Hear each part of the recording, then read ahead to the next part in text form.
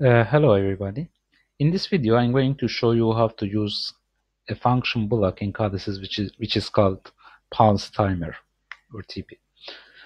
Assume that we have a start switch and we have a motor to you know, which we want to control and turn it on or off. So here at the beginning we have a switch for controlling the value of the start contact and a pilot lamp to show the state of the motor.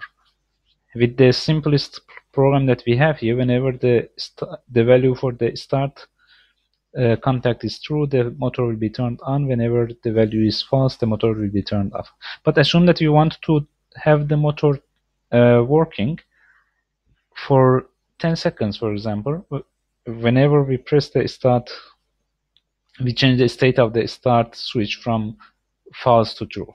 We want to have the motor working for 10 seconds and then motor should stop. So to do so, we can use a function block which is called pulse timer.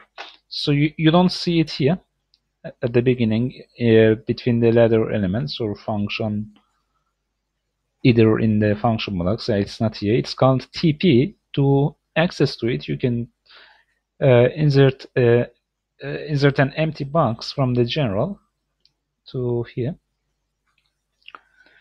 And to determine the type of the function block here,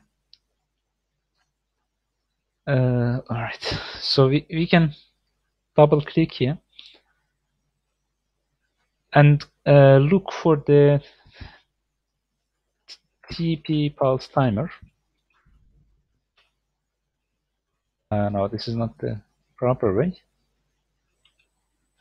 It's it's better to go directly in the categories, in the function blocks, standard, timers, it's here so pulse timer.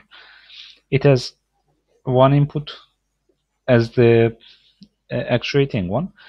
We need to determine the preset time. There's the output as Q and there's another output as elapsed time.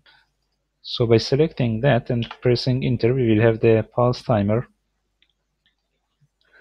uh, with the name of TP underline zero. Let's keep the name as that. The type of the Uh, declared variable is TP. It's alright. So and you see here that it's declared as TP, TP underline zero. We need to determine the preset time. Again, let's assume that we have 10 seconds. And the elapsed time can be elapsed time can be written to the elapsed time variable, which is of type time, and you can see it here. Now, if we go to the visualization, saving the project, logging in and running the the project, we will see that each time that we have the change at the start contact from uh, false to true, the motor will be turned on immediately, but after 10 seconds it will be turned off. And here you see the elapsed time. Whenever it reaches the preset time, which is 10 seconds, motor turns off. It doesn't matter if you change the state of the start uh, in the middle. The pulse timer doesn't care about the input. It's uh, actually sensitive to the rising edge of the input signal. So as soon as there's a rising edge, the pulse timer will start timing and uh, until it reaches the 10 seconds.